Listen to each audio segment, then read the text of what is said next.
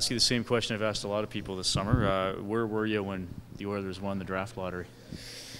Uh, I think I was at the Westin Hotel, still in Edmonton, and I was with uh, Bogdan Yakimov because uh, I thought I'll go to play the World Championship, and then I couldn't go, and I stayed for another extra week to uh, get some treatments going and just to make sure my hips are all right. And yeah, I was at the Westin Hotel and just, you know, by accident we just turned TV on, and that was. Uh, we got first again, and I hear people are screaming at a hotel, so it was kind of crazy, and you, you guys probably seen it. So. But what was your reaction? I mean, are, are you excited? I mean, we hear so many great things about McDavid.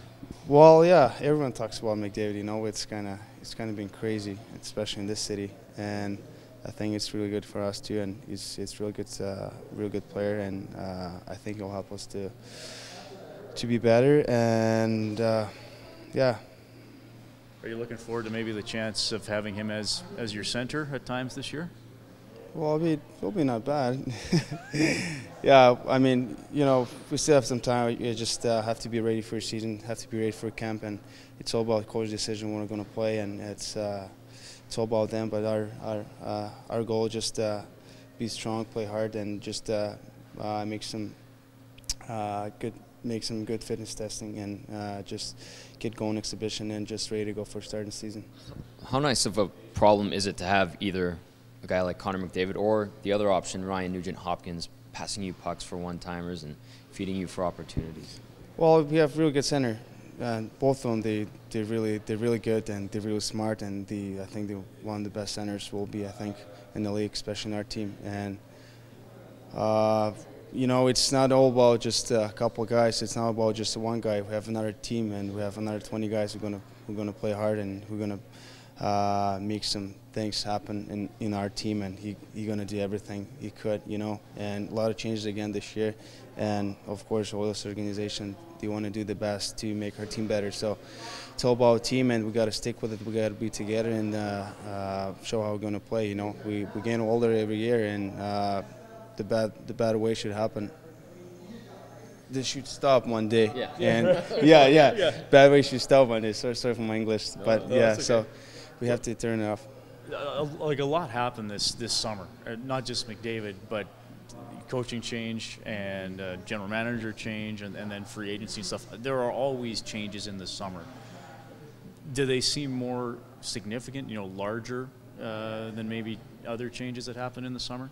Well, these guys, they've been work uh, for San for many years, and they've been playing playoffs, you know, and they know how to play in playoffs. And uh, the coach that guys like Joe Thornton, you know, Pavelski, and uh, another guys, Brent Burns, and uh, again, it's a good opportunity. And GM won a cup with the Boston, right? So, uh, you know, it's always good to have those kind of guys, and I hope and everyone hoping they're going to bring something special in our team and to make our team better again.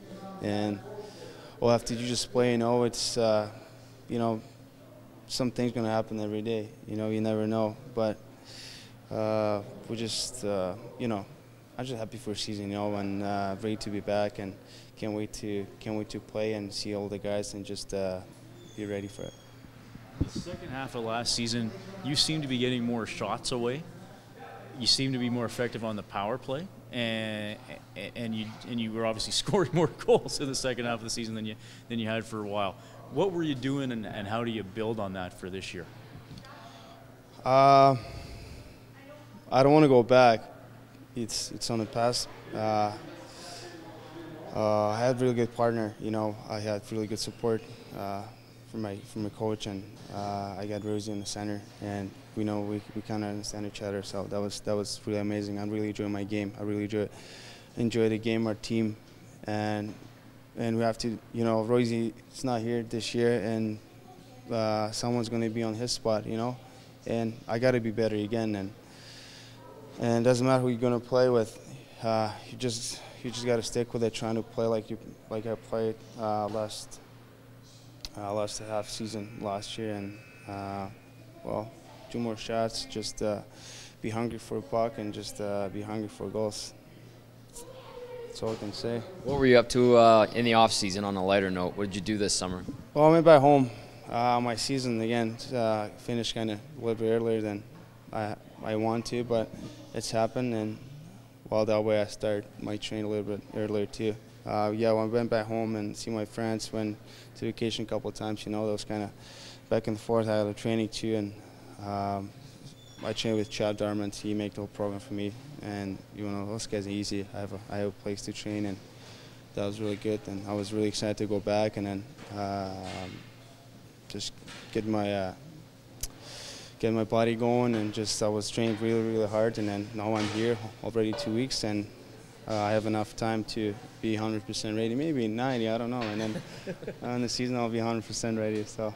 How, how are your hips feeling? I mean, was it just a minor issue that had to be corrected, or how, how's everything? uh, now everything's fine. Uh, nothing's bothering me and I'm ready 100% you know I'm, I'm running and I'm, I'm doing biking you know and I'm just sprinting so uh, everything's fine. I'm ready to go so I don't feel any problem now